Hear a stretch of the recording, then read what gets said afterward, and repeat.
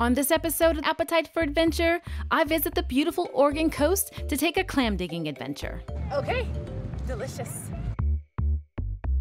All right, ready to eat? I'm ready to eat. Before heading down the coast, I spend some time in Portland to check out the food scene and to find out what makes this city so weird.